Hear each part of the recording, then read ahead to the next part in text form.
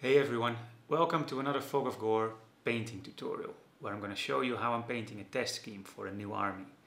This is uh, going to be a quick video, nothing too grim dark, just a fun one where I paint a space marine with a tiger pattern.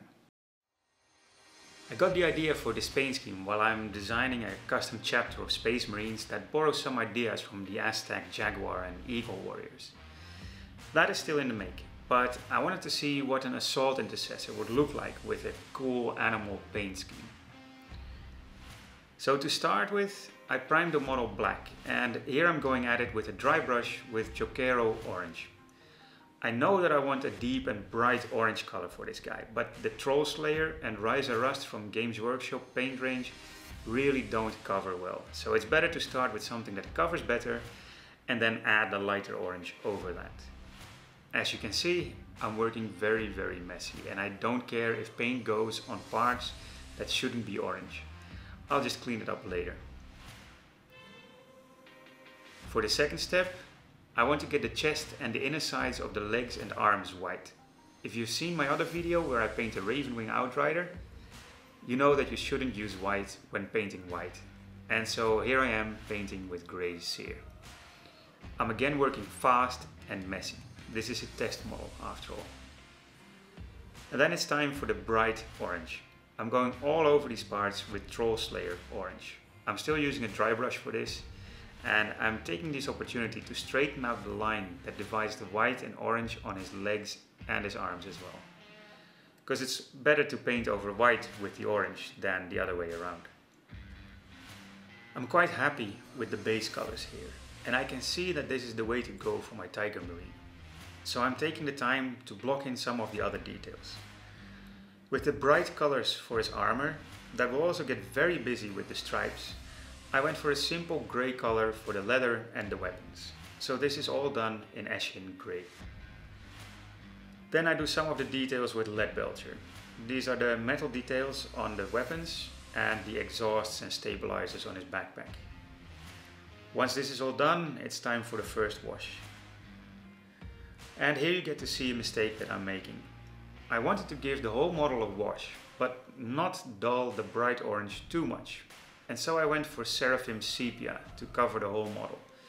But it didn't work out. The shade wasn't dark enough and I feel like it just didn't do anything for the orange. The white on his chest on the other hand would look okay like this, but it would definitely need a white highlight. So after the Seraphim Sepia dried, I had to go for another wash, and this time I picked Agrax Earthshade. I just applied it everywhere except for the white parts of the marine. This gave a good deep shade that gave me the results that I was looking for. These sort of mistakes are common if you're painting a test scheme and it's completely normal to just keep working and apply another layer of a different color, see how it works out you can always decide to strip the mini later on if it goes completely wrong. So after the wash has dried, it's time for a bright orange highlight. For this I'm using Ryza Rust. It's essentially the same color as the Trollslayer that I used for the base, but it comes in the form of a dry brush paint and I find that easier to work with. You could just use Trollslayer again for this instead. The highlight only goes on the shoulders, his head the top of the backpack and his arms. Keep the lower part of the model a bit darker. And it's time to brighten the chest as well. Uh, I'm doing this with a dry brush with some Grey Seer. Now looking at the chest after this is done, I think that the Seraphim Sepia wash actually was the right choice for the white parts. It leaves this nice yellowish shade in the recesses that comes out now after highlighting. And I think it actually works great. And then it's time for the tiger stripe pattern. I just looked up a bunch of tiger photos online to see what these stripes look like. And it's a good idea to get a photo reference if you're working on an animal pattern. I'm starting on the back and the legs of the marine to get a bit of practice in with these stripes before I work on his front and shoulder pads. Uh, the shoulder pads especially will be very visible, so I want to make sure that I do the pattern on these as best as I can.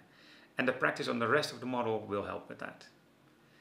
So just keep putting on stripes until you think the model is finished. I used Abaddon Black for these stripes by the way. And then it's time for the eyes. Uh, for this guy, I went with Retributor Armor, which is a very bright gold paint. I think it's perfect for a tiger model. And that's the test model already done.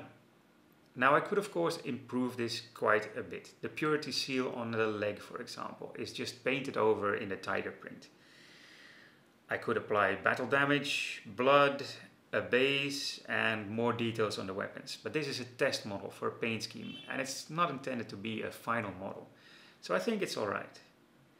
If you want to try out a paint scheme, I really recommend working like this. Work fast and block in the areas of the model as quick as you can and then work to get the highlights and shades right.